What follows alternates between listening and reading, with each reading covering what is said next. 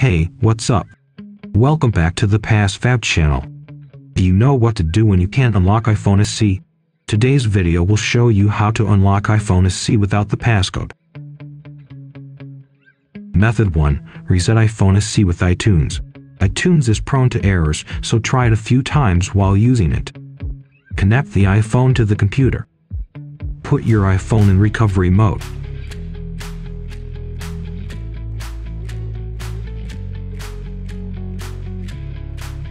Run iTunes. Operate according to the pop-up window. Click Restore. Choose Restore and Update. Click Next and Agree.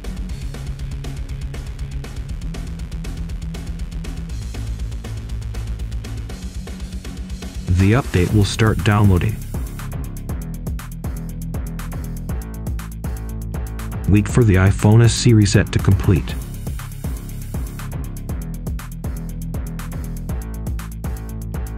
Set up your iPhone SE as a new device or import an iCloud backup.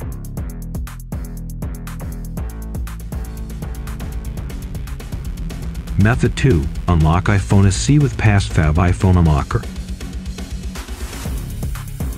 First, download and install PassFab iPhone Unlocker. Connect the iPhone SE to the computer. Launch PassFab iPhone Unlocker. Click Start. Read the disclaimer and click Next.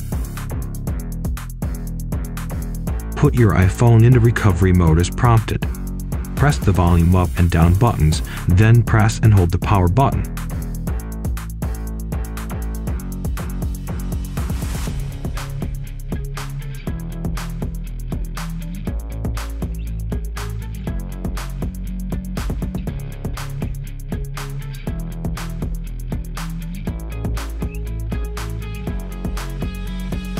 Click to download the latest firmware for iPhone SE.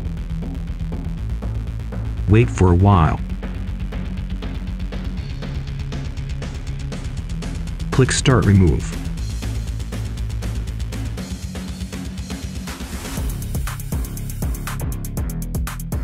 Wait for the iPhone SE screen lock to be removed.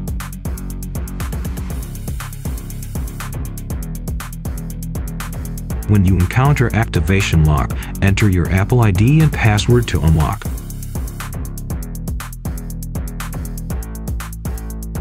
That's all for today. Click the link in the instructions below to get the software. If you think this video is helpful, please give me a big thumbs up. See you next video.